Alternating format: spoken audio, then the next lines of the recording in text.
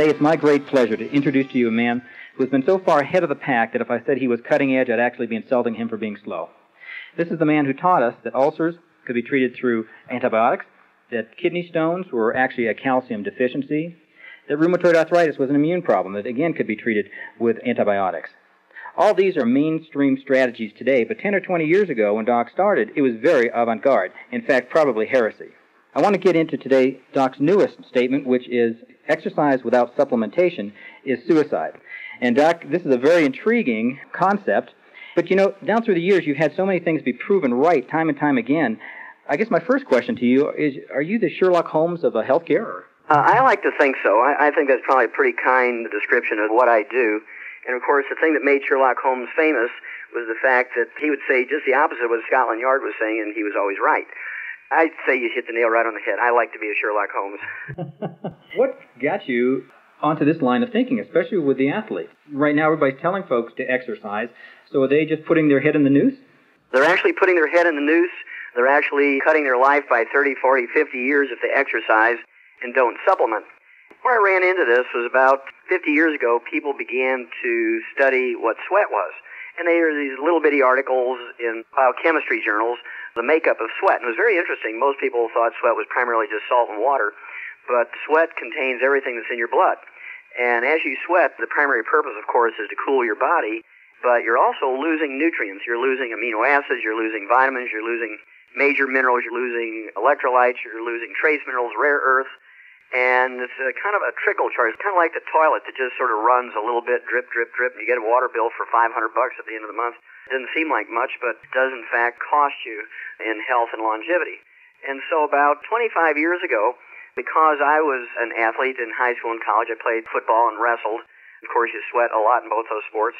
And I only weighed 123 pounds and played middle linebacker and played offensive center. That's back in the old days when the players played both offense and defense and only at 123 pounds. I was very aggressive, but never got an injury. And all these big guys, 200, 240 pounds, were always getting injuries in their ankles and so forth. And the reason I didn't was because living on the farm, I was able to have access to trace minerals that we gave to calves. And so putting together practical experience and taking advantage of some, what was 50 years ago, esoteric research, you know, what's in sweat kind of thing, put it together and came up about 25 years ago that you were, in fact, throwing your life away if you were exercising and not replacing the minerals you're sweating out. Wow. You know, it kind of reminds me back, you know, I don't even know when this was, but I'm, all of a sudden jogging came up, and was it Bill Kick? Jim Fixx. Fixx, okay. They're close. Jim Fixx, uh, spelled with two X's, F-I-X-X. And of course, he died at 52. And he wrote all the books, Run Your Way to Health, Jog Your Way to Health, and there wouldn't be any running shoes. And yeah, wasn't it a number of the runners, including him, just all of a sudden died? They all do. They all die suddenly.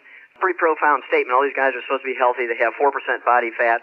What it is, they're sweating out all of their minerals, which protect them from various diseases, including ruptured aneurysms and including heart attacks. In fact, there was a long distance runner who died in July of 2000. His name was Leonard Hilton. He ran the sub four minute mile 32 times, and he was a student of Jim Fixx's and always praised Jim Fixx and all his knowledge and training techniques. And Jim Fixx died at 52, and Leonard Hilton, Jim Fixx's student, died at 52. That's pretty much what you're going to get. There has never been a professional athlete live to be 100. And if exercise in of itself was useful for health and longevity, there should be a lot of professional athletes living to be 100, not a single one, Craig. Wow. It might have been you that says a couch potato is actually living longer than these guys. You're exactly right. That's me. I like to teach people the basic truth by saying something that's very provocative. That way they remember the concept. But basically what I did, since there was lots of articles written by long distance runners saying, hey, you guys, we can get high. We can make our own opium in our brain, and you can get drugged out running long distances here and get into la la land legally, not worry about getting arrested or anything, just by running. You can lower your cholesterol by running. You can lower your body weight a couple of points. You can get your body percentage of fat down. There's all kinds of wonders to running, how healthy it is. It's good for the cardiovascular system. But it always kind of fascinated me. There was never anything that said athletes live longer. So I decided to do my own survey, and I started looking at obituaries of professional athletes and university and college athletes compared with obituaries of couch potatoes. It's always kind of funny that librarians live to be 103, 104, conductors live to be 89, 95, and housewives live to be 115, and so forth. And the old couch potato lives to be 88 to 120 And professional athletes, the average lifespan is 62 to 65. The ones who play the most, the ones who are the stars, die the youngest. And you look at some of the famous ones, Red Grange, Jesse Owens, people like Wilma Rudolph, Babe Zaharias. You're probably too young to remember her, but she was one of the first great women athletes who could whip men in about 10 different sports. And then there was people like Wilt Chamberlain, age 63, congestive heart failure.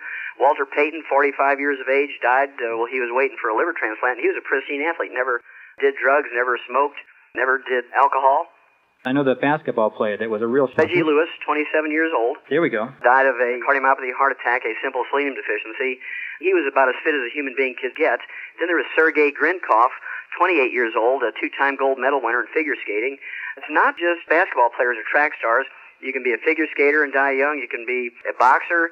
You can be a baseball player. I have a lot of very famous baseball players: Babe Ruth, Lou Gehrig, Don Drysdale. I have all their obituaries. I actually have one. Was a pitcher for the San Diego Padres, and he was only 24 years old, and he was felled by a cardiomyopathy heart attack, and they were just shocked because he'd just come up from the minors. You're yes. sweating and not replacing those minerals you're sweating out. You're doomed to have a lot of injuries and anything that might relate to mineral and nutrient deficiencies.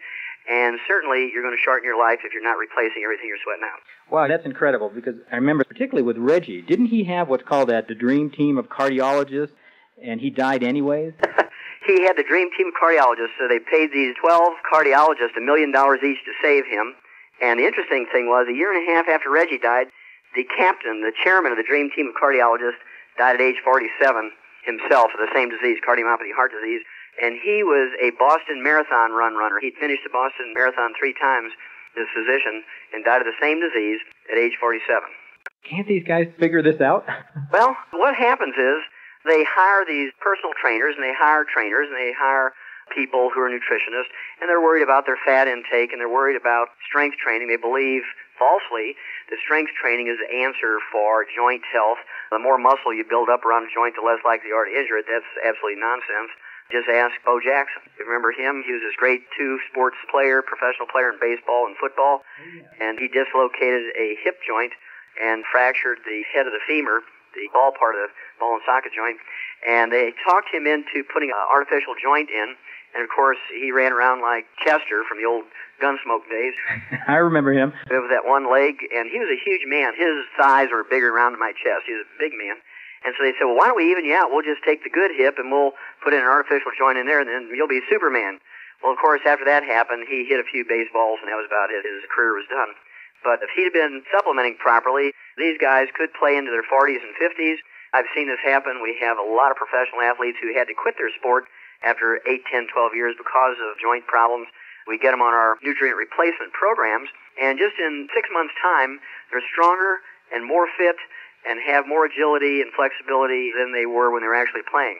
And they just they shake their heads and they say, why didn't our high-priced million-dollar a year trainers tell us this? And they say, well, they don't know it because they're reading from doctor-written nutrition books. They're reading from doctor-written sports medicine books. These folks just don't seem to have gotten the message yet. No, they haven't because they make their money by doing joint replacement surgeries. They make their money by doing arthroscopic surgery. They make their money by removing meniscus. They make their money by repairing torn ligaments. And so that's what they're in the business of doing. They are not interested in preventing these injuries because they make their money by repairing them. Got it. Wasn't it Holyfield that actually was able to come back? Right, yeah. Evander Holyfield was kind of an interesting guy. He quit in one of his fights. I guess it was against Tyson. He just quit. He just couldn't go on. Because of lack of strength, his heart began to give out. He had hypertrophic cardiomyopathy heart disease. And through a mutual friend, actually a guy who lives across the street from Evander Holyfield, Andrew Young. You may remember the name. He was an ambassador to the UN, and we were able to save Andrew Young's knees. And Andy Young said, well, why don't I see if I can take the message of Evander Holyfield? And we got Evander Holyfield taking some selenium, and sure enough, we were able to get his heart going again through the selenium supplementation. Actually, a more complete program than that, but it included uh, special interest in the selenium part of the program. And as you see, he was able to come back and defend his title several times. And of course, he's been boxing, uh, not necessarily to the level he'd want to be. He's lost the last couple of fights, but he's a remarkable athlete. And without that supplementation, he would have been finished a long time ago. Looking at your background, you have kind of a unique background to be talking about human nutrition. But I think it probably gives you an interesting perspective. I know you started as an ag major and went to veterinary school first, and then you did a lot of research with the human studies. Well, I think the advantage that gives me, Craig, is that in animals, we don't have insurance. We don't have Blue Cross, Blue Shield, major medical, hospitalization, Medicare, and Medicaid. We don't have personal trainers. We don't have personal nutritionists. And so what we had to learn to do was prevent and cure diseases in animals with nutritional formulas, very economical to do it that way on a herd basis, put everything in their feed pellets, and that's why we have mouse pellets, rat pellets, hamster pellets, guinea pig pellets, rabbit pellets, duck pellets, goose pellets, hen laying mash, chick pellets, poult pellets, horse pellets, sheep pellets, and so on. And dog food canned, dried, cat food canned and dried. And every one of these rations is a perfect mix of every known nutrient necessary for these animals. And if we were to use a human healthcare type of system, especially the sports medicine system in animals, it'd be a sticker shock for you. Your hamburger would cost you $275 a pound just to pay for the healthcare. And so I decided to take the same concept that we did for animals, where we have special diets for animals with heart disease, kidney disease, intestinal disease, liver disease, eye disease, and so on. These diets are formulated so the animal can't pick out what they want. It has everything in there necessary to focus nutritionally on that particular organ or organ system. And I just said, well, if it works in animals so well, which it does, why wouldn't it work in people? And so about, I'd say 1978, after trying from 64 to 78, which is 14, 15 years, I'd written my scientific articles and books and lectured to doctors, and I couldn't get doctors interested in the concept. They'd pat me on the back and say, oh, that's very interesting, but that's in animals, not people. So I went back to school and became a physician and began to use these preventative and treatment concepts with nutrition like we did in animals, and certainly the concept works like a charm in people just like it does in animals. That's maybe why the gentleman that told me about you said, talk to Doc Wallach, he may treat you like a dog, but you'll get better. that was a little thing that my patients came up with because I used to hang my veterinary degree on the wall next to the medical degree, and patients, they come in, their eyes would get real big. But after a while, they kind of realized where I was coming from, and they'd start with a joke telling their friends, hey, if you're not happy with what your doctor is doing for you, go see Wallach. Now, he'll treat you like a dog, but you get better. Dr. Wallach, talking about athletes, we've talked about a lot of the professional athletes. How about the younger ones, high school, college players? Are they at risk just the same way? Oh, absolutely. According to the Center for Disease Control out of Atlanta, Craig, a lot of these young athletes under the age of 30 drop dead each year while they're training, exercising, or participating in sport. I saw some figures earlier this month which said that the death rate from sudden heart attacks in young athletes has actually gone up by 10% in the last year. And so there's no nutrients of any value in Pepsi Cola, Coca Cola, Dr. Pepper, Gatorade, and so forth, and water, just plain water. And so these young athletes wanting to get scholarships, wanting to get into the pros, and as a result, they train hard. They do all the right things. They do what their trainers tell them to do. They just don't supplement properly. And as a result, a lot of these kids who are really professional level quality athletes, even when they're in junior high and high school, these kids will get injuries that will kill their career. And there's nothing worse than these people training these kids, getting them up to the point where they are really superstars, and then a knee blows out, or they tear an Achilles tendon, or they get a shoulder injury, they get a back or neck injury, they get a finger injury, and they're pretty much done, and their whole life is ruined because their whole life was focused on these athletics. And these kids also have a high rate of depression and suicide because their whole life has been built around being the superstar of the neighborhood and the school. In fact, suicide in high school athletes is the single biggest cause of death in high school athletes. Wow, that's astonishing. Not to mention kids like that or young people like that blowing out a knee, they've just thrown away a lot of money. That's correct. Not only the investment they've already put in, but paying forward, so to speak, their future investment in their life because they know when they excel and so forth and have all these benefits of the training and they have this natural talent. It's really a shame. And so I do make an appeal to parents and coaches and trainers out there who might be listening to call your toll free number, get the information, and give these young athletes a more complete replacement program so that if they do get injured, you know, if you run into a wall, you're going to get injured, you can repair quicker. The likelihood of injury is very, very slim just simply by replacing everything you're sweating out. Got it. People listening to this, a lot of folks, we're talking about nutrition especially, will say, well, how long do I need to take these sort of things? You take all these supplements properly until you stop using oxygen. Got it. There's a reason for that, and that's because our food does not contain these nutrients. And no matter how well you eat, you can spend a million dollars per meal, and you're still not going to get everything you need by eating. And so you do have to consciously supplement, whether you sweat or not. But if you sweat, you're really obligated to do it in a very, very intense way. calcium deficiency, from everything that we've talked about in the past, seems to be, again, you to use the word epidemic. And wasn't that what got your attention at one point in time with twitching eye or something, if I remember the story? Yeah, my personal story was I was a teenager, 14 years old, and my eyelids would twitch so bad you could actually hear them making a noise, clicking. and asked my mom what it was, and she didn't know, and she panicked because she could see my eyelids jerking. It looked like I had some kind of electrical thing on there. was, my eyelids were just twitching. It looked awful. And she took me to an eye doctor. I had to drive 80 miles to St. Louis to go to one of the top eye doctors. And after a long day, she finally determined that my eyelashes were long and they were hitting my glasses and curling back and tickling my eyeballs. And she gave me a Maybelline mascara eyelash brush, and she said I have to retrain my eyelashes. Oh, I bet that went over well. Oh yeah, it didn't go over very well. Of course, I was playing football and wrestling, and I could just imagine myself sitting on the bench there with 25 or 30 200 pound guys playing with my eyelashes with a Maybelline eyelash brush. And so I dismissed that suggestion. Went to the school library and started looking up muscle cramps and muscle twitches in a health book written by a couple of nurses. And they said very clearly that muscle cramps and muscle twitches are caused by a calcium deficiency. And so I went home and I started using the calf pellets that we gave the calves. We had plenty of calcium in. When all the other kids were eating candy and, and so forth, I was eating calf pellets. And so at a very early age, I was very aware that mineral supplements were very, very necessary. And like I said, I would take a fencing tool and knock a corner off one of the trace mineral salt blocks. I would take calcium supplements because I was small and playing football, middle linebacker. I just never got injured in four years of playing because even though I was extremely aggressive, because I was taking all the raw materials to rebuild my body. And in wrestling, where you sweat more than anything else, I would spend most of my day not in class. I was running up and down the stadium steps, the football stadiums, just to stay fit for my wrestling program. And I know I sweat out a couple of quarts of sweat a day. And without replacing those nutrients, I know I would have some injuries at least, and certainly may have died. And uh, you may recall a couple of years ago, there were many wrestlers who died suddenly. Yes. Tried to blame it on some of the supplements they were taking, but basically they were wearing rubber suits and trying to lose five or ten pounds to get down into a lower weight class, and they just sweat out all their nutrients and died suddenly from that. Well, Doc, what if someone were to come to you and say, I have a son that's in football or does a lot of athletics, or even a professional athlete?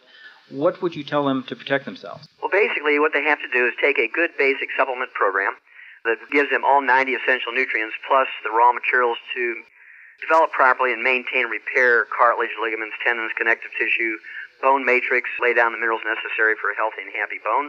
Also, instead of just using water or Gatorade or one of the soft drinks as a fluid replacement as they're sweating before, during, and after the events in the training session, a sports drink, it has amino acids, vitamins, electrolytes, major minerals, trace minerals, and rare earths in it, plus three time release energy sources. Tastes very good, and it's a concentrate. Uh, you put an ounce of this into a quart of water, a liter of water, and sip on that. You're going to replace, you're going to trickle charge everything back into your system that you're losing as you sweat.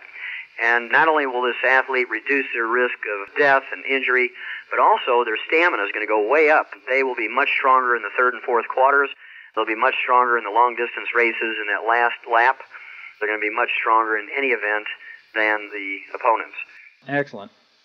So, Dr. Walk, we've kind of looked at the problem out there. Minerals seem to be the kingpin of what you're talking about, and it's funny because everybody talks vitamins.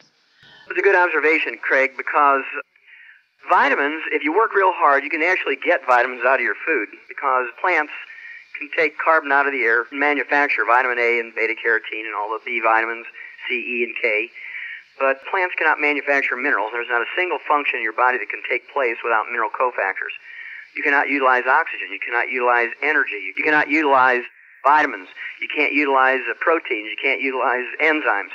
You cannot utilize hormones. Nothing in your body will work without one or more mineral cofactors, and yet our foods cannot manufacture minerals like they do vitamins. And so over the years, I realized that the minerals were the limiting factor and the lack of minerals were the limiting factor to long life, healthfulness, athletic prowess, and stamina. And I probably have known that since I was 14 years old and certainly developed and collected a lot of information to back up that belief over the years. And basically, minerals are the limiting factor, and so you have to consciously supplement with them properly, especially if you're an athlete and sweating.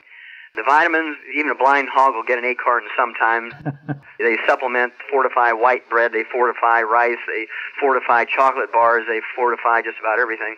What's this document 264 you faxed over to me? Well, U.S. Senate Document 264 was actually published by the U.S. Senate in 1936. And the U.S. Senate published this back in 1936, and it said at that time that there was no longer sufficient amounts of minerals in our farm and rain soils to give us everything we needed. And as a result, the plants, the food plants that were grown there were minerally deficient. As a result, the animals and people who ate these minerally deficient crops got mineral deficiency diseases. And according to U.S. Senate Document 264, the only way to prevent and cure these mineral deficiency diseases was to supplement properly. And we've known this in 1936 that's back at the time when we began to supplement vitamins and minerals and trace minerals into animal feeds and came up with mouse pellets and rat pellets and hamster pellets and guinea pig pellets and horse pellets and canned dog and cat food and so on to assure them optimal amounts of all known nutrients. They couldn't pick out what they wanted. Unfortunately for human beings, we're left to TV advertisements and newspaper advertisements and magazine advertisements and ignorant trainers who tell people, well, just drink Gatorade, just drink water, and just drink Pepsi Cola because we get good kickbacks from them. Doc, I tell you, this is incredible. In fact, I've got some young children that now, in the back of my head, I've got all these questions going through my head on how to make sure that they survive this ordeal of growing up and, and being athletes. But unfortunately, we are right down to the wire. We're going to have to ask you to come back, maybe do this again. Love to do it, Craig. I want to thank you for being with us. This has been Dr. Wallach, National Lecturer on the Dead Doctors Don't Lie series, best-selling author, physician, veterinarian, and all-around good guy. Thanks for being with us. And for Craig Walcott here at Health Talk, have a healthy day.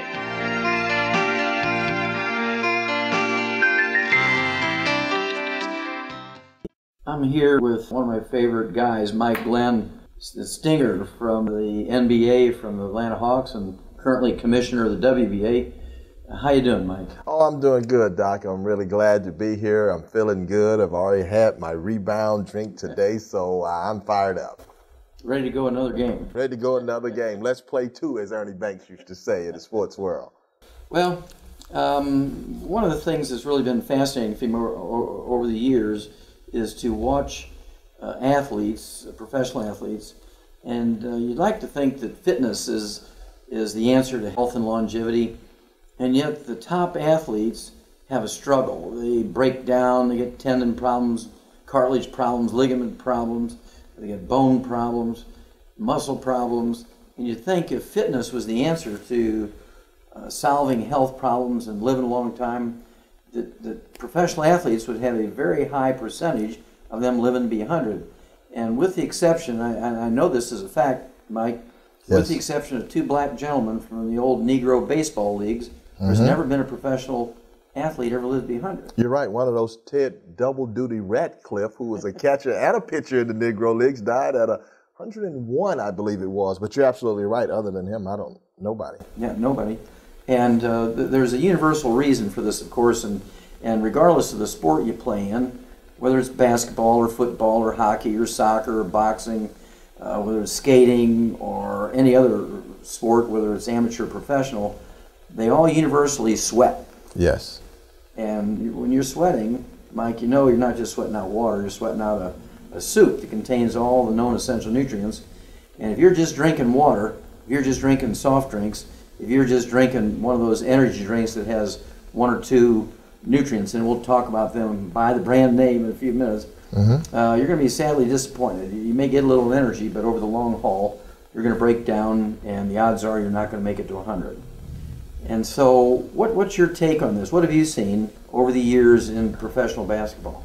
Doc, uh, not only statistically doing research, but in my own personal life, I just turned 50 uh, this past uh, year, and seven guys that I played with in college uh, have passed on, all of them from health related uh, occurrences, nothing accidental. So I see in my own life the deaths and so many of my former teammates in the NBA and college. They've had two hip replacements, knee replacements, they can hardly walk. They are really struggling. So I've seen it firsthand that a lot of the athletes, of course, we read about the super athletes like Kirby Puckett that recently passed and uh, the ultimate basketball hero of all, Wilt Chamberlain, a guy who averaged uh, over 48 minutes a game for an entire season, averaged 50 points a game. He was just superhuman for a season. And we see Wilt pass at 63 and, and other heroes of sports, like, of course, Walter Payton, one of the greatest, if not 45. The, 45, maybe the greatest football player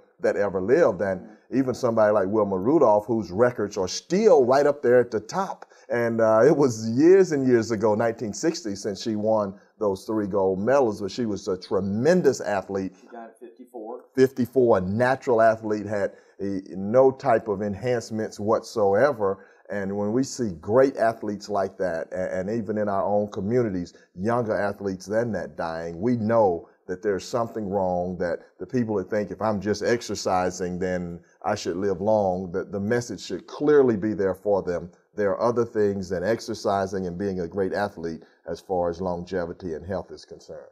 Yeah, you're exactly right, uh, Commissioner. I'll call you Commissioner. Yes, sir. And, um, you know, you look at somebody like Reggie Lewis, uh, died at 28, uh, cardiomyopathy heart attack uh, during a, actually, he had one heart attack during a playoff game with the Charlotte Hornets. Right. And then some weeks later, he died of a second heart attack, selenium deficiency. And then more recently, there was a young lady, uh, 19 years old, Rolanda Pierce. Uh, she's a freshman at Florida State University, uh, six foot five. Uh, she was going to be the Michael Jordan of the WNBA. She Yes. was going to be it. She dies of a ruptured aneurysm at age 19, something a turkey wouldn't die from because we eliminated uh, ruptured aneurysms in turkeys in 1947. We learned that there's a simple little copper deficiency, and just by taking copper, you can prevent that. So I know the story, but why don't you share the story one of our favorite uh, modern athletes, uh, Theo Ratliff? Sure. I, of course, am uh, very knowledgeable of all the great nutritional products that I take and how they work. And as a broadcaster for the Atlanta Hawks, I was talking to one of the Hawks players, not Theo Ratliff, and I was speaking kind of quietly. This gentleman had several challenges, and I was talking to him a little bit about nutrition. And Theo overheard me. Theo said, "Mike, can I can I get with you? I want to talk to you about those nutritional things." And I met with Phil Oliver, a guy who had uh, introduced me to the products. And I said, Phil, we need to go out to dinner with Theo Ratliff. So we went out with Theo. Theo was a young, tremendous athlete. He had made the All Star team. Philadelphia 76ers had traded him to the Atlanta Hawks, which is a red flag right away. Why would you trade a young 6'10 shot blocker who's a tremendous person, follows all the trainer's instructions, all the coach's instructions? He's a family man, he's doing everything right. Why would you trade a guy like that? He was not a druggy felon. Exactly, not a, exactly right. This is the kind of guy you want. You try to get on your team, not trade him away. So um, we met with Theo uh, Doc, and we went over all the nutritional things that he needed, and we pointed out that he was very uh, deficient of his uh, nutritions that he needs daily, essential nutrition. And uh, we told him the things that he needed. We told him a comp, uh, we told him he needed essential fatty acids. We told him he needed calcium. He needed plant-derived minerals. He needed a combination of plants, minerals, and amino acids. And he needed glucogel to really repair and rebuild himself. Theo listened and he followed our instructions. He took all of this nutrition morning and night. And uh, he did that and he really recreated himself. Theo had been a guy, Doc, that when he got to the Atlanta Hawks, his knees would swell, his uh, ankles were um, arthritic, he had a detached bone in his hip. And Theo was like 26 years old. I mean, Yeah, old man's disease. He's 26 years old. yes, Yeah. And just like we were speaking of earlier, here he's sweating out all these nutrients. yes, And he's not taking them back in to maintain and repair his body. yes, Uh, he was not supporting that maintenance system. is depending on aerobics and fitness and uh, muscle training and strength training. Yes. Yep. yes. Because the trainers were telling him that, Doc. They were saying, well, maybe if you stretch a little bit more. So they had him on icing and stretching and lifting weights to strengthen those muscles in the areas of the injury, and none of it. He was continuously falling apart. So we said, Theo, if you'll take these things and if you'll take them every day, we can repair and rebuild you. And Theo did. He took them religiously. Uh, one of the few athletes that we've introduced this to that have recognized you can't just take it one time and say, oh, I didn't feel anything, so I just stopped taking it because they had been taking inferior products.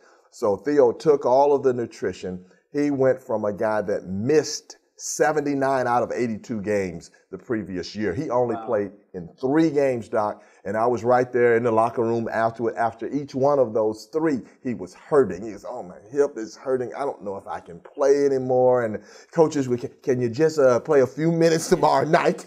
you know? He's 26 years old. Exactly. Like, and then, you know, the owners are thinking we're paying you a lot of money for these little few minutes. all those uh, dynamics enter into professional sports. But he could not play anymore. Theo was just in pain and he was only hurting himself further. So he went from there to taking all the nutrition to rebuilding himself. Theo got to the point where he was playing 82 games, pain free. He wasn't even icing his knees. Now, I played 10 years in the NBA. All centers ice their knees. That's standard equipment. You put your shoes on, you ice your knees after the game. Those go together. So Theo was so healthy, he had no pain in his knees, no pain in his hip. He was pain free. He was just jumping out of the gym, just blocking shots, led the NBA in shots blocked, and uh, was one of the top vote getters for Defensive Player of the Year. Theo was recreated. He was healthier than he had ever been before. Well, and then I know something really, really good happened to him after those uh, two great seasons uh, with the Hawks. What, what, what, happened then? Well, uh, we were talking, Phil Oliver and I were talking about how he had really uh, come around and been created. And Phil came up with the idea. He said, we need to really have a sports drink built around Theo so that when Theo is uh, out there, he can take all these nutritional um, drinks and supplements while he's playing. And that's when we came to you, Doc, and we said, can we devise an energy drink that's full of this nutrition so that while Theo is playing and other athletes and other everyday people, while they're living their everyday lives, they can take this energy drink and feel an immediate sustainable energy boost that will take them throughout the game and they'll even feel better the next day. So it sounded like a tall order, but we knew that it could be filled and, and that's exactly what happened. Rebound FX was, uh, created. Uh, we tossed around what would be a good name, and we thought that Theo had rebounded his career and rebound such a, a part of basketball, rebounding, uh, you know, uh, you, you can't win without rebounding. So all of that made a lot of sense, and we came up with the name Rebound FX. And Theo has taken it. Theo has introduced it to a lot of other professional athletes, as we have as well. And it has just developed and earned the reputation of being the best sports drink in the world. And coming from a sports uh, background, my nickname is the Stinger, and all people know you have to earn your nickname. So if your name is Rebound FX, you have to earn it, and Rebound has certainly earned that name, Rebound FX. Yeah, I can remember there was one professional basketball player, I can't mention his name, but I remember one guy, uh, one of the top NBA players, uh, he wasn't going to play on a Sunday, and we were at one of those uh, basketball clinics on Saturday, mm-hmm. and they actually had to have one of the kids who was there, who was going back to Miami, mm-hmm. hand carry a case of Rebound FX to this basketball player because he wasn't going to play without it. That's right. What a great story, Doc. You're right. You're trying out for the WBA. You mentioned I'm the commissioner of the World Basketball Association. It's a young league. We work with young guys and try to give them opportunities, exposure, and development this young kid had come up to Atlanta to try out, come from Miami to try out. And uh, one of our professional athletes that is taking rebound had a game that Sunday. And as you know, FedEx and uh, UPS and a lot of the uh, services that deliver don't really do it uh, very often on the weekend. So we were having a real difficult time because he had to have it. He knows the benefits of it. We show the comparison of rebound to athletes, and they know how significant it is to get any little edge because the difference in winning and losing in superstar and a regular player in making the NBA not is sometimes fractions of a second. So any edge that they can get, athletes know they want it. So uh, this kid was going back to Miami and we, we had the idea. We met with the kid and said, look, we've got an athlete that needs this rebound desperately. Can you, on your trip back, take a cab. Soon as you get to the Miami airport, take a cab, go directly to the arena, meet the security guard in the back door, and give this uh, Rebound FX to this athlete, and he will give you two courtside seats for it. Wow. the kid was so elated and so happy. He said, "Will I? I'll be glad to." So the kid was. Uh, we didn't have to tell him about the benefits of rebound. It was obvious if this professional athlete, superstar athlete, wanted it this much, it had to be very good. And he got a chance to sit on the floor right near the player's bench and see the game as he'd never seen it before, and, and see rebounded at work. The athlete got his. Uh, his energy drink and he drank it throughout the game and the benefits. It was just a win-win and a beautiful story for everyone. Yeah, that's that's. Uh, I love that story, uh, mm-hmm. Mike. Thanks for sharing that. Sure. And of course, you don't have to be a basketball star, a football star, a boxing star, a baseball star to take Rebound FX. If you're the sort of person who needs a pick me up of a cup of coffee or a soft drink at 10 in the morning, at 3 in the afternoon, at 8 o'clock at night, um, you want to try Rebound FX. Uh, it does not have carbonation. It doesn't have sugar. It doesn't have uh, phosphates in it. It doesn't have the things that are negatives uh, from the standpoint of nutrition.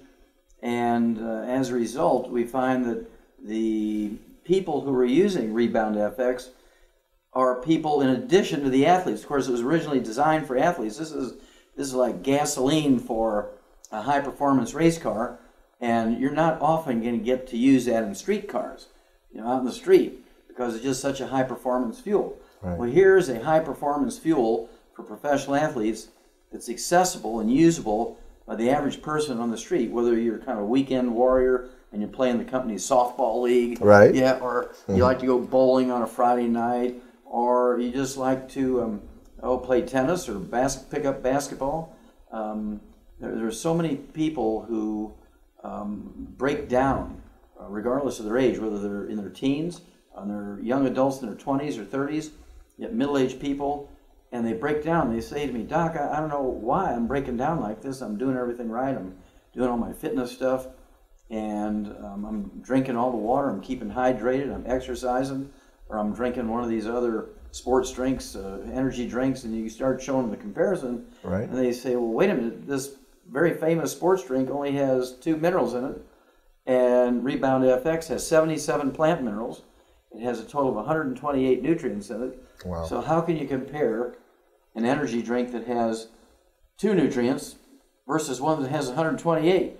Right? It's just impossible. It, and Doc, oftentimes when I'm telling athletes that, I'll say, imagine now that you're in the boxing ring. We're going a few years back, and I show them the comparison. I say, uh, you got this one minute break between rounds, and you're fighting the young Mike Tyson. Which one do you want? So that brings it home clearly right away. Give me a double dose of the rebound, they say. So they athletes really see the difference, though, the comparison, all the nutrition, the energy, the pickup the ability to sustain your energy. It's just a no-brainer for anybody, really. you know, Rebound FX has really taken off, Mike, and just because it is a performance drink, it is an energy drink, mm. and it is a nutrient replacement, not only a, a fluid replacer, but it's also a nutrient replacer, and it's so convenient.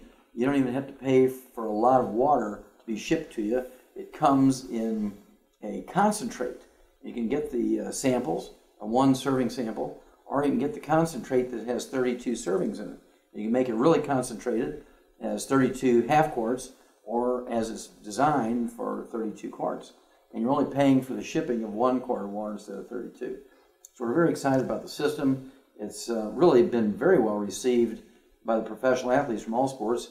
Uh, can you recall any comments that maybe some of these professional athletes have had about Rebound FX? Oh, I have, Doc. So many athletes have really taken to it and they've just ordered it in bulk. I mean, we have entire teams that will purchase as much as almost $2,000 worth at one time and say, I want to have this here for the remainder of the year. And I don't want to have to worry about when it's shipments coming in and they just take it every day. They just will not go on the court without it. It becomes that much more part of you. You just become, you feel so much better when you're walking on the floor with that confidence as well as the energy. Your body is just feeling good and they know they can play at a very high level. So we've had athletes at every level, whether they're in the pee wee level, the high school level, the collegiate level, or the professional ranks and, and in all sports, whether they've been football, boxing, basketball, baseball, track, you name it. We've had athletes across the board that have just really loved taking Rebound FX. Well, you're a kind of an all around guy, and one of the many, many reasons we have a deep respect for you and we love you is that um, uh, you've developed this league for deaf basketball players. Yes. And uh, we really, really appreciate that. And, and are these kids using the Rebound FX? Yes, Doc, I'm glad you asked about that. This is a, of course, my dad coached at Georgia School for the Deaf, so I grew up around deaf kids. He coached basketball, track, and softball there in the late 50s and early 60s. So I grew up around deaf kids and I developed the nation's first basketball camp for deaf kids. So we get high school age boys and girls, basically from all across the country, to come to my camp. We have a week long of regular basketball camp, three times a day, and on the last night of the camp, we play an all star game where my best deaf kids play against local all stars from the community. So they're kind of tired. It's been a long week, but they're very excited about representing the Mike Glenn camp for the hearing impaired and about deaf people showing that they can play basketball as well as anybody else. And uh, so we played, and I remember the first time I introduced uh, Rebound FX to them, I just told them very briefly, this is a good drink. It has some nutrition. It'll help your energy. So we're going to have it available for the game. So they said okay, and you know how high school kids are. They wonder how it tastes and what is it, and they have been so accustomed to other sports drinks. And so I just put it out, and they were coming from, and I, I told them, huh, drink some of this. I had someone to give it to them, and I saw their reactions when they go back on the court they had the energy and they came back and I say, which one? I want some more of that one. They were signing. They wanted the one with the rebound in it. And they didn't even know of all the nutritional things, but all the whole teams, the girls and the boys were taking it. And after the game, they were saying, how can I get some more of that? So without hearing the whole story and knowing what it was going to do for them, that's like just a blind test. It was for a deaf test in this case. but these kids just tried it, felt it, they knew it worked, and they wanted it. So, and we've had Rebound available for them throughout the week now for the last couple of years. But it is just a part of the deaf community, the deaf sports scene, and still growing uh, in every avenue you can imagine. Well, thank you for that uh, feedback, Mike. And, and since you brought up the test word, yes, um, the thing that we're really proud of with Rebound FX and many other of our products is the fact that um, in New Zealand, which is probably the toughest country in the world when it comes to testing urine and testing sweat of uh, players to make sure that they're not taking anything that gives them an advantage, something that's been banned, mm-hmm. uh, has been approved by the the agencies uh, in uh, New Zealand that test for these things, and therefore it's also approved because they're the toughest in the world. Mm-hmm. It's also um, been approved by the IOC. Wow. The International Olympic Committee. And what, what does that do? I mean, I know that a- amateur and professional athletes got to be worried when they're going to take something new. Is it going to affect um, their, their ability to play? Is, are they going to get banned from playing if they take something with some weird herb in it or something that shows up in their urine, their sweat, or their blood? Um, how, how important is that to a player? That is, Doc, because it's so much uh, emphasis on it now in the media. Every all the emphasis on steroids or different drugs that uh, and athletes that have died, famous athletes, and often they try to infer that it was because of something that they were taking or uh, rather than something that they're not taking. Yeah, there was a baseball player who died of uh, something, and right. they attributed it to the ephedra that he was yes. taking. And yes. Uh, then, boy, Congress got in it, and they, they banned mm-hmm. ephedra. And then an attorney went back and sued the government and the FDA to get ephedra back on the market but it has to be like a very, very tiny, tiny dose. You'd have to take mm. a whole mm. bottle, get the same dose as you used to be able to get. Oh, okay, right. And I think that, Doc, has uh, scared a few people. Like, is ephedrine? so, so they they have this uh, undue alarm. So to know that it has been stringently tested, that these are beneficial nutrients, and that's what we really stress to people that this is nutrition. This is not some drug or chemicals that you're putting in your body. This is the safest and the best thing because they are plant derived minerals, have been pre digested by plants. And so we explain that to them because uh, there is this concern that if it's anything new that they've not heard of, that maybe it's one of those banned substances that are will either make them Ill- illegal to play or will hurt them in the long run. But once we tell them these factors, they, they take it with confidence and they know they feel it and like it, and then uh, they pretty, pretty much go on from there. Yeah, this is a, uh, Rebound and several other products from, from uh, our wonderful um, collection of products has been approved by at least one and, and maybe two agencies in New Zealand. And uh, again, it's the toughest one in the world. And so the IOC, the International Olympic Committee, mm-hmm. Just as long as New Zealand says it's okay, they don't even look at it sideways. And so um, this has really opened up the whole amateur athletic league, whether it's junior high, high school, uh, university, Olympics, and we're so very proud of that because we don't want these young kids who work so hard. They learn the sport, the, the actual technology of the sport, they learn the system of the sports, and then they get fit, and then they start breaking down. And it's always the top ones. Yes.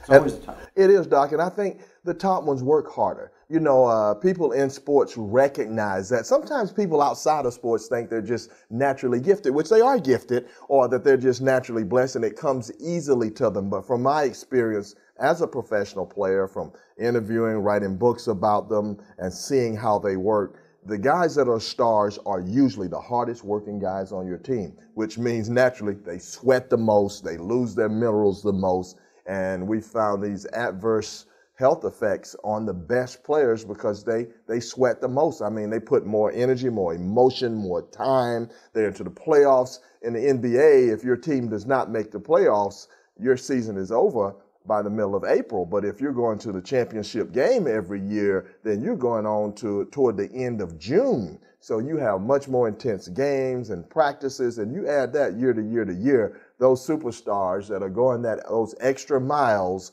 they're going to be the one most adversely affected. Well, um, thank you so much for sharing all this information, and I know that people are going to want to hear this this um, uh, material that is going to be so vital to their long-term health and also their, their day-to-day health on the short term because nobody wants to be walking around on crutches. Nobody wants to be sitting in the chair when you want to be out playing. That's the truth doc. And you know you made me think of something else very quickly though. Uh, my wife, who is a, uh, she likes to walk and exercise to try to stay firm and slim. Uh, around this area, Doc, in the Atlanta area, you have a lot of people that like walking up Stone Mountain and walking around the mountain. So you have a lot of people that are just doing those kind of exercise daily. And I know Phil's wife likes to do these kind of things as well. And they both are taking this Rebound FX uh, every day. They're taking it to walk the mountain for their exercise. All their friends are taking it. So even if you're not, as we've mentioned, a professional athlete and you're competing at that level, if you're just an everyday person that wants a little extra energy and nutrition, uh, it works very effectively. It tastes great and um, it gives them that little extra energy and they'll, they'll do an extra mile or two when they're taking that rebound and they find out that uh, they'll lose weight quicker and actually and feel better after they finish walking. Okay, I'm going to end this, uh, Mike, with rebound, rebound. That's our drink. I like that. Yes, indeed. Puts me back in the sports world. okay, Theo, you hear Mike, Glenn, and both Mike and Dr. Wallach talking about, you know, rebound and how we came about with rebound and uh, basically how our relationship, yourself and myself and Mike, um, but I wanted you to kind of tell your story and just kind of emphasize why were you such a different athlete in receiving this versus your colleagues, and what has it meant to you? Well, Phil, um, you know, it, has been tremendous to me as far as uh, helping rebuild my career and furthering me along and giving me the ability to extend my career. Um, you know, it's been well documented of the different type of injuries that I've had throughout my career, and it always got to a point where I couldn't figure out what was going on with my body, and um, I overheard Mike Glenn speaking to one of my teammates when I was with the Atlanta Hawks back in about 2002, talking about minerals and calcium and mineral deficiency. And so when I heard him, I said, "Yo, Mike, come over here and, and speak to me about that a little bit." And um, he graciously, as he is, as, as he is a man, just came over to and gave me some knowledge about what it was he was speaking of, and it was uh, profound in what he was what he was speaking about because I had never had it put to me in that manner as far as athletes be, becoming mineral and calcium deficient, you know, throughout their sweating out all their minerals during play, and also with the amount of energy and stuff that we exert during play. you know, I becoming deficient in those areas. So he told me about the great products at uh, Youngevity, and I was able to get on the products diligently, you know, and rebuild, you know, the cartilage from my hip injury, from my knee injury, and just all the different things that I had going on at the time. You know, I was in a situation where I had the hip injury where I couldn't figure out what was going on and you know why these things was just happening to me. You know, because I always try to keep myself in a superb physical health and always ready to get out there and, and play ball. But you know, I was getting these minor injuries, knick-knack injuries, and stuff that was just stopping me from continuing to be the player that I was you know, like I said, with the minerals, that all changed. Once I got on the minerals and got to doing the Pig Pack Plus and taking the calcium and being diligent on it and taking it, you know, as it was food, you know, every single day, twice a day, I was able to rebuild my body and to be able to extend my uh, my playing career. Well, Theo, you know, you uh, they had a rap on you that you were the kind of guy that got a lot of injuries. So why don't you just try to tell me when did your injury start, and what, you know, at what point did you realize that there was something else that you needed to do? Well, I was di- diagnosed even when I first came into the league. They said I had a degenerative bone problem. How so old were you then? That that was when I just had come out of college.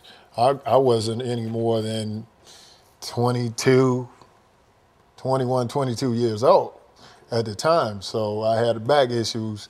So as they looked at the uh, MRI, I had to take MRI and a whole bunch of exams in order for to, teams to even take me. I had to take all these things to try to make sure that you know everything would stay intact. And they gave me, you know, only five or six years in the league tops was where I would be at my, you know, at my peak position and everything would be downhill from there because they saw the degenerative changes that early in my career. You know, lo and behold, I was able to extend, you know, my career as far as um, being able to play and be, you know, I was in a position where I was in the playoffs uh, in as an All-Star in 2001, right before um, I received my hip injury, which no, right before I received my wrist injury, where I just went up for a block shot, just normally coming down, trying to catch myself, you know, fracturing my wrist, having to have surgery, and then traded to the Hawks. And um, then my wrist healed. And during that same summer, right before the season started, I ended up tearing cartilage. I didn't know what it was. I just went up for the ball, jumped for a ball, a routine thing that I do, you know, a thousand times a game, and end up tearing cartilage in my hip. Nobody knew what the diagnosis was. You know, I had to go see all these specialists and different things that would, you know, and finally figure out what was going on. So I had to have a surgery for that. And in my trying to recovery from that surgery, I just um, wasn't getting back to being able to play the game and it had gotten to a point where I had set out all year, tried to come back a couple of times, and it just wouldn't happen for me. So I had, you know, lost faith in, you know, what was going on as far as with trying to heal and was real discouraged with what the doctors and stuff were saying. And, you know, I thought I was pretty much done with it because I wouldn't be able to be the same player that I was before I had the hip injury. But with with that said, um, had a great guy, Phil Oliver, to school me on exactly what I needed to do as far as taking the minerals and the calcium, along with Mike Glenn, and you know just got over my problem by being diligent on taking the product. And so from that, we produce rebound. Yes. So how yes. is rebound now that we have this Rebound FX? How has it benefited you and even some of your colleagues? Well, after being such a diligent uh, student of the minerals and the calcium and constantly uh, rebuilding my body, um, we kind of jointly, me, Phil, Mike, kind of jointly came up with the idea of having an energy drink to help sustain me throughout the game. When everybody else was going down in the fourth quarter, my energy was still elevating and staying at its peak position. And, you know, with that said, being three-time, you know, shot block leader, you know, one of the top defenders in the league, being um, pretty much winner up to being defensive uh, defensive player of the year and different things of that nature. Um, it definitely helped excel my career. And by me having such a success, me seeing the success that I had, I wanted to wanted to go out to my colleagues and try to introduce them to these products as far as with the minerals and have them to understand what what's going on with their bodies when they're going out, they're sweating, sweating out their minerals, using your calcium during play, and being able to replenish themselves with something that was healthy at the same time efficient. So prior to that, nobody explained to you about sweat, how important what you're sweating out is replacing it back in. Prior to meeting Dr. Wallach, Mike Glenn, and of course myself, no one, because you were around nutritionists, you were around doctors, no one ever um, explained it to you in that manner. No, no, no one ever really broke it down to me on what minerals are, how they work. You know, we get the basic four food groups and you need to be eating more carbohydrates and different things of that nature, but never to the detail on what helps build your body and what helps you sustain your body as far as how you losing sweat, how, how you losing your minerals through sweat and different things of that nature. No one ever sat down you know, until I met you, Phil, you, uh, Phil, Mike, and Dr. Wallach and they really uh, educated me on that. And so now we have a crusade. We're trying to just expose this information to not only just athletes, yes, but yes, to yes, everybody who needs energy. Everybody needs these minerals. How often do you need them? Oh, you need minerals, like I said, just like you have food. You know, every single day you need to replenish yourself with the right minerals and, you know, to help have longevity, you know, in life, you know, to, to live with, you know, being disease free, you know, different things of that nature, and being able to have a healthy lifestyle. That's that's what it's all about. That's our crusade is to try to give everybody ultimate health. Well, I tell you, that's a great crusade, and uh, we thank God for you for Rebound FX. And I think we'll sign off with saying, let's go rebound. let's go rebound. all right. all right.